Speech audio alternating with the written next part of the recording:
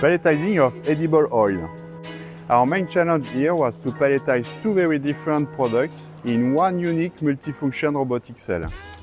On one end, we needed to palletize wraparound boxes with an open side, while on the other end, we had to palletize loose bottles in half-pallet corrugated trays, plus slits. And all this at the speed of 21,000 bottles per hour. Okay, challenge accepted.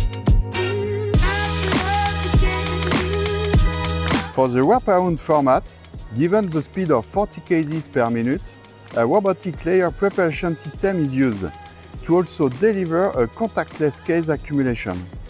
A third robotic arm with a full layer gripping head transfers the batch onto the pallet. When switching to the loose bottle format, the palletizing robot changes autonomously its gripping head and the other adjustments are made automatically.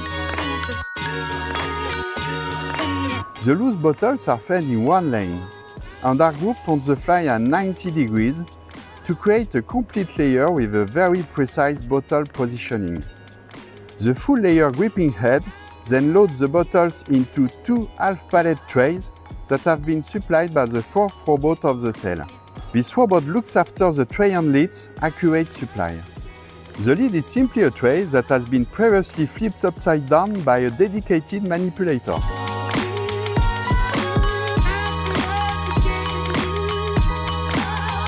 Overall result, no friction, no accumulation, no guides. Simple, compact, flexible, challenge solved!